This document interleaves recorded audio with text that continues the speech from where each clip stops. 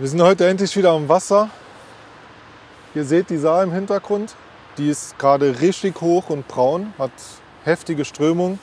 Also Angeln im Hauptstrom ist gerade eigentlich gar nicht machbar. Sind aber super Bedingungen, um jetzt halt in den strömungsberuhigten Bereichen zu angeln. Wir werden wieder ein Hafenbecken befischen. Ähm, ich denke, dass es zum Angeln gute Bedingungen sind eigentlich. Aber was heute schwierig wird, es soll sehr, sehr viel regnen und auch starken Wind geben. Das heißt, Köderführung, Köderkontrolle könnte schwierig werden mit dem Gummifisch. Aber ich muss sagen, ich habe mir abgewöhnt, mein Angeln vom Wetter abhängig zu machen. Man muss angeln gehen, wenn man Zeit dazu hat. Ähm, und wir werden einfach mal gucken, dass wir das Beste daraus machen.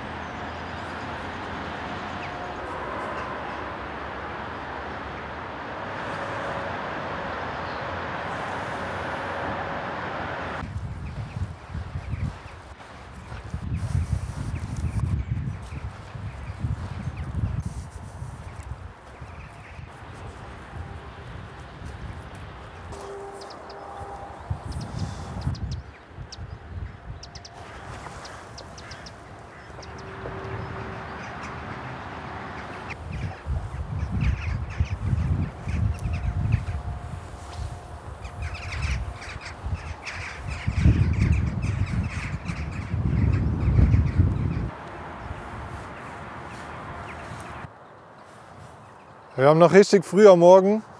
Hier sind gerade Vögel unterwegs ohne Ende. Ihr hört die ganze Zeit diese großen Dohlenschwärme zum Beispiel, die hier überall überwintern. Viel Kormorane, Gänsesäger. Ganz viel zieht sich hier zusammen. Wenn der Fluss so hoch und schnell ist, ist natürlich der Hafen auch für Kormorane super interessant, ganz klar. Das Wasser hinter uns im Fluss ist schnell und trüb. Da ist auch für die schwieriger zu fischen. Deswegen sammeln die sich natürlich jetzt auch hier geballt im Hafen. Hier haben wir gerade super Bedingungen, finde ich. Außer der Wind.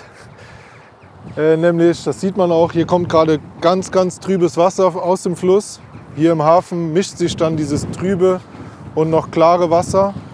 Wir haben hier ganz, ganz unterschiedliche Wasserfarben auf kleiner Fläche. Da haben wir Strömung, hier haben wir ruhige Bereiche.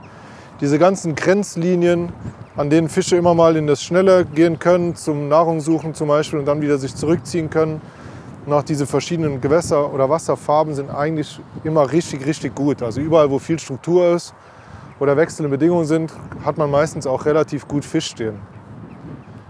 Hoffe ich jedenfalls.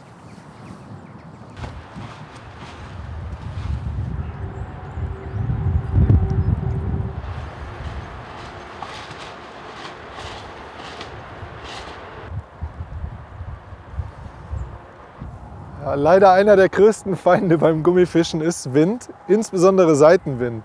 Wenn ihr Gummifischen geht, ich meine, manchmal kann man sich nicht aussuchen, man hat Urlaub, man will angeln gehen. Und wenn dann Wind da ist, ist immer gut, ihr stellt euch mit dem Wind im Gesicht oder mit dem Wind im Rücken. Dann ist eigentlich ganz gut zu fischen. Hier haben wir jetzt wirklich ungünstigste Bedingungen. Wir haben richtig harten Seitenwind, der natürlich immer eine Schnur reinbläst. Dadurch entsteht ein großer Schnurbogen. Und die Köderkontrolle und auch Bisserkennung leidet wirklich richtig viel. Was ihr aber machen könnt, ist ein bisschen schwerer fischen, ganz klar. Ein bisschen größeren Bleikopf drauf tun, dass der die Schnur ein bisschen mehr spannt.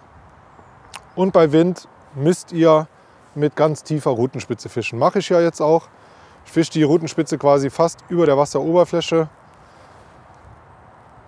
damit einfach wenig Schnur in dem Wind ist, in der Luft ist und dann auch vielleicht einfach nicht zu große Distanzen fischen, wenn es geht, damit man so wenig wie möglich Angriffsfläche hat. Aber ganz klar, egal wie ihr es angreift, ein bisschen Kontrollverlust und auch ein bisschen schwächere Bisserkennung habt ihr bei starkem Wind.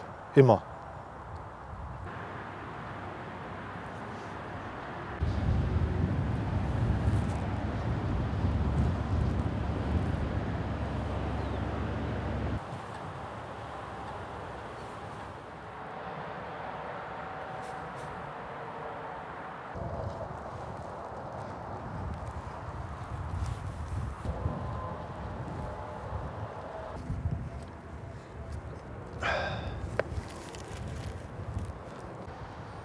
Versuche gleich mal noch einen großen.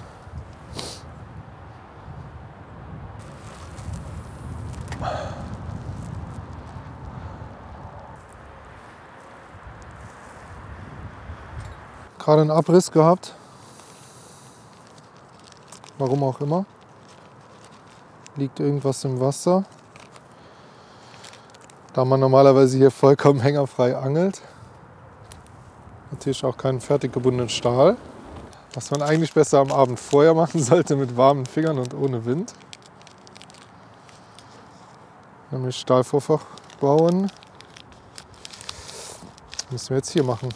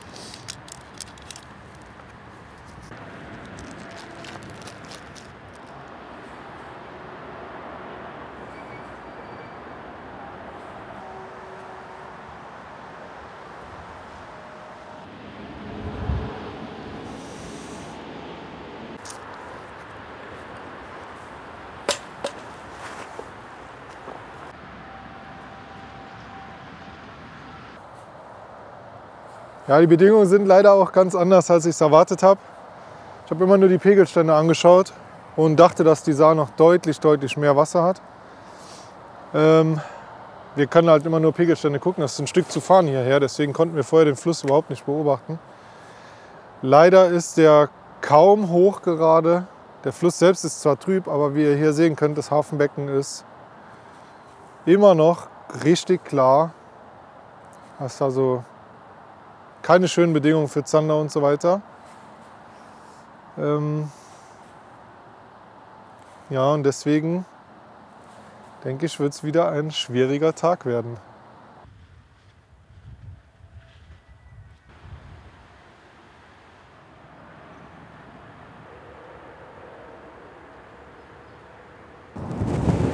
Ja, man sieht, die Bedingungen werden hier nicht gerade besser. Erstens mal ist der Wind viel stärker geworden. Und zweitens fließt gerade ganz stark Wasser aus dem Hafen raus. Hier wird es immer klarer. Also die Saar nimmt an Höhe ab und dementsprechend fließt gerade massiv Wasser aus dem Hafen raus. In stauregulierten Flüssen kann es super schnell gehen, so hier auch. Und wir haben bisher jetzt hier mit Gummi auf Barsch, Zander wirklich keinen Anfasser gehabt, gar nichts. Deswegen denke ich, werden wir jetzt ein bisschen mal Taktik wechseln und hinten in das hintere Hafenbecken reingehen, wo es wirklich ruhig ist und auch relativ klares Wasser hat. Und mal ein paar Würfe probieren auf Hecht. Also sprich nicht mehr so hart am Grund, ein bisschen größere Köder angeln. Hier sind zwar nicht viele Hechte drin, aber vielleicht gerade bei den Bedingungen, wo der Fluss so trüb ist, doch ein paar, die jetzt hier in den Hafen zurückgezogen, also sich zurückgezogen haben. Und wir haben ja letzte Woche gesehen, es gibt Hechte. Und das werden wir jetzt mal ausprobieren. Weil das hier im Moment anscheinend keine große Aussicht auf Erfolg hat.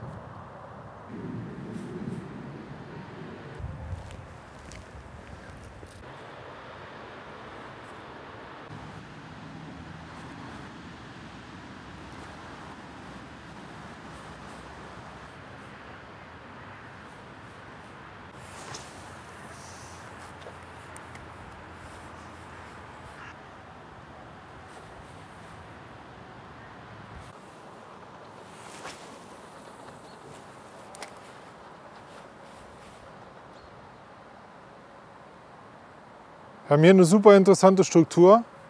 Zuerst läuft es hier so auf so eine Stufe aus, die vielleicht so zwei oder ein bisschen weniger Meter tief ist. Dann geht so eine schräge Kante runter in das Hauptbecken, was dann tiefer ist.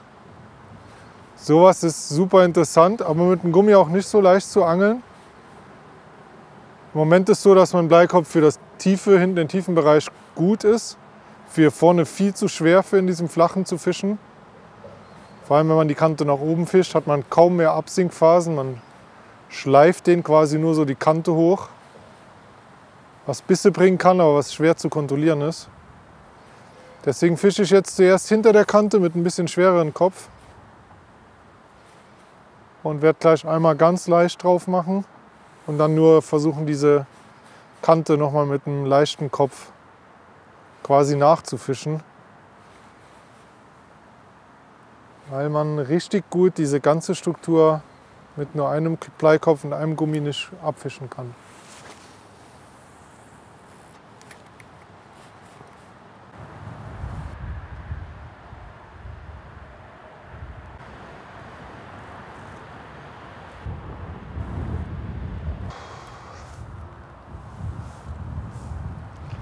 Tja, ich bin ein bisschen untröstlich. Ursprünglich haben wir angedacht, kein Angelvideo zu machen, auf dem nicht mindestens ein Fisch gefangen wird.